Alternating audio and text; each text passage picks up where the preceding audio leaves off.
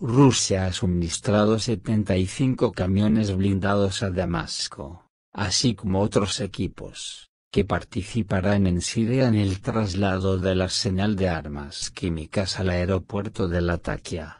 Durante tres días, del 18 a 20 de diciembre, enviamos en aviones al aeropuerto de Latakia 75 vehículos, incluyendo 50 camiones Kamaz y 25 camiones blindados Ural, informó este lunes al presidente ruso, Vladimir Putin, el ministro de Defensa, Sergei Shoigu, en el marco de una videoconferencia. Estos vehículos servirán para transportar el arsenal de armas químicas de Siria al aeropuerto de Latakia para su posterior traslado fuera del país y destrucción, dijo Shoigu,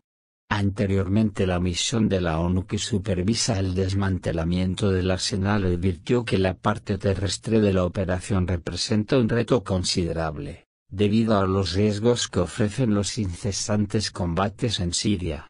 El material enviado desde Rusia incluye también depósitos de agua, cocinas de campaña, carpas y otros bienes que necesitarán los militares rusos en Siria durante la operación añadió Shoigu durante la videoconferencia con el mandatario ruso.